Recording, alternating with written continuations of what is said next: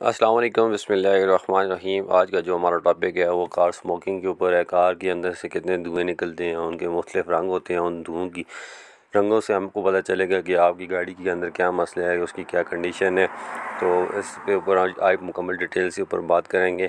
تو ہمارے چینل پر نئے آنے والے بھائیوں سے گزارش ہے کہ چینل کو سبسکرائب کریں، لائک کریں۔ یہ ہمارا نیو چینل ہے، اس کا یہ مقصد ہے صرف اور صرف کہ آپ اپنی گاڑی کی مینٹیننس کر سکیں، اپنی گاڑی کے بارے میں جان سکیں، اس کے اندر کیا مسئلے ہیں، ان کو حل کر سکیں، اور ڈیجیٹل میٹر کی مدد سے ان کو سیٹ کر سکیں۔ تو شروع کرتے ہیں۔ سب سے پہلے آج جو ہے میں وہ ہمارا ہے نارمل سموک۔ نارمل سموک کا پروسیجر اکثر سردیوں میں ہی ہوتا ہے۔ جب گاڑی آپ رات کو گرم کھڑی کرتے ہیں تو اس کی ساتھ جو ہے نا پانی کے ابھی بخارات جمع ہو جاتے ہیں۔ جب آپ صبح گاڑی سٹارٹ کرتے ہیں تو وہ پانی سلنسر سے باہر آتا ہے۔ ایک ہوا کی شکل میں، وہ نمی کی شکل میں بخیرات کی شکل میں، تو آپ اس کو نارمل پروسیجر ہی کہہ سکتے ہیں، جس طرح سردیوں میں انسان کے منہ سے دھواں آتا ہے پانی کی شکل میں۔ تو یہ ایک نارمل پروسیجر ہے، اس پہ آپ پریشان نہ ہو۔ یہ صرف سردیوں میں اکثر گاڑی میں ہوتا ہے، شروع میں ہوتا ہے، تھوڑی دیر پہ ختم ہو جاتا ہے۔ اور یہاں ایک ضروری بات سمجھیں کہ بہت سے لوگ کہتے ہیں کہ سینسر کے اندر سے پانی باہر آ رہا ہے، پانی کے، پانی گر رہا ہے نیچے۔ تو یہ اچھے سائن کی نشانی ہوتی ہے۔ کہ آپ کا انجن صحیح کام کر رہا ہے تو اس وجہ سے آپ کی گاڑی کے اندر سے ہلکا ہلکا پانی آتا ہے سلینسر کے ذریعے تو یہ ایک اچھے سائن کی نشانی ہوتی ہے کہ آپ کا انجن اچھی کنڈیشن کے اندر ہے۔ تو اس پہ بھی پریشان ہوتی ہوا کرے تو دوسرے پہ آتے ہیں جی بلیک سموکنگ بلیک سموکنگ جو ہے یہ سیدھا سیدھا فیول کے ساتھ اس کا تعلق ہے۔ جب آپ کی گاڑی زیادہ پٹرول کھائے گی تو اس وجہ سے آپ کی گاڑی کے اندر سے کالا دھواں نکلے گا۔ آپ کے انجن کے ایک سسٹم ہے کہ آپ کی انجن کے اندر جو ہے نا چودہ حصے ہوا آتی ہے، ایک حصہ پٹرول کا آتا ہے۔ اگر اس مکسچر کے اندر کچھ خرابی آ جاتی ہے کہ ہوا کم ہو جاتی ہے اور پٹرول زیادہ آنے شروع ہو جاتے ہیں اس وجہ سے پھر پھر پٹرول جو ہے نا، جو ہے نا پھر کالا دھوئیں کی شکل میں باہر نکلتا ہے۔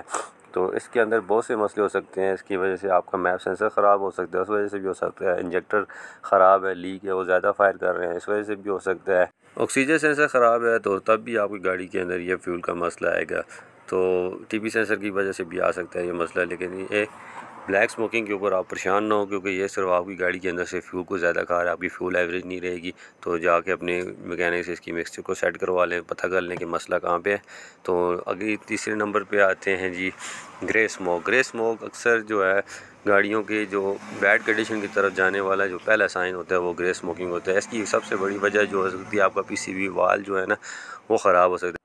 پی سی وی وال کا کام ہوتا ہے کہ آپ کے انجن کے بلاک سے جو گیسز جو پسٹم کے نیچے چلی جاتی ہیں، ان کو واپس جو ہے نا وہ ویکیوم کے اندر بھیجنے اگر وہ خراب ہو جاتا ہے، وہ یا بلاک ہو جاتا ہے، اس کا سپرنگ بند ہو جاتا ہے، تو پھر آپ کی گاڑی کے اندر یہ گرے سموک پیدا ہوگی۔ آپ کی گاڑی کا ٹربو چاربر اگر خراب ہے، تب بھی آپ کی گاڑی کے اندر گرے سموک پیدا ہوتی ہے۔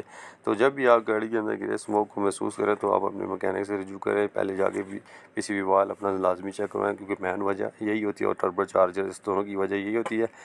چوتھے نمبر پہ آتے ہیں تو بلو بلو سموک، یہ بلو سموک جو ہوتی ہے، یہ آپ کی گاڑی کے لیے جو ہے نا تھوڑا رسکی ہو جاتا ہے۔ اگر اس کے اندر آپ کا انجن ختم ہونے کی طرف چلا جاتا ہے، آپ کی گاڑی آئل کھانا شروع کر دیتی ہے کہ آپ کی جو پسٹم کی رنگز ہیں، وہ لیک ہو جاتی ہیں اور آپ کا جو انجن کا آئل ہے، وہ نیچے جاتا ہے، اوپر جا کے سلنڈر کے اندر جلتا ہے، جس کی وجہ سے پھر آپ کی گاڑی کے اندر بلو سموک پیدا ہوتی ہے۔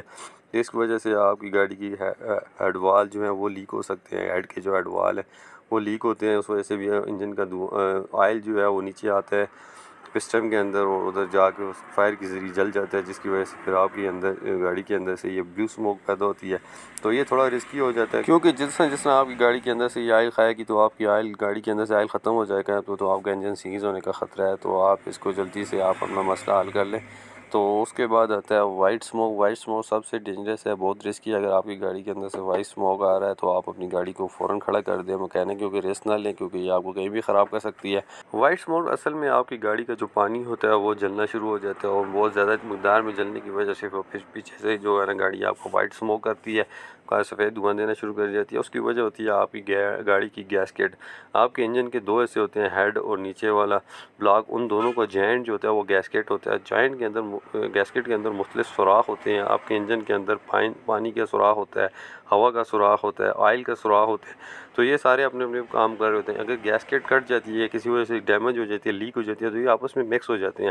اس کی بہت سی وجہ ہوتی ہے۔ آپ کی گاڑی کی پانی کے اندر آئل مکس ہونے لگ جاتے ہیں۔ آپ کی گاڑی کے پیچھے سے سفید دھواں مارنا شروع کر دیتی ہے۔ تو یہ گیسکٹ کی بڑی نشانی ہوتی ہے۔ انجن کے بلاک میں جو ہے نا پرابلم آ جاتی ہے، آپ کا پانی کولنٹ جو ہے وہ جلنے شروع ہو جاتا ہے، اس وجہ سے آپ آپ اس اس اس معاملے میں آپ بالکل رسک نہ لیں۔ آپ کی گاڑی کہیں بھی کھڑی ہو سکتی ہے، آپ لانگ ڈرائیو مت کریں۔ آپ جا کے اپنے مکینک کے پاس اپنی گاڑی کی گیس کٹ کو چیک کروائیں۔ تو یہ بہت ہی ڈینجرس ہے، اس میں آپ سفر مت کریں۔ امید کرتے ہیں کہ آپ کو ہماری سمپل سی انفارمیٹک ویڈیو پسند آئی ہوگی۔ اپنا بہت خیال رکھیے گا۔ نیکسٹ ویڈیو تک ہمیں اجازت دے اللہ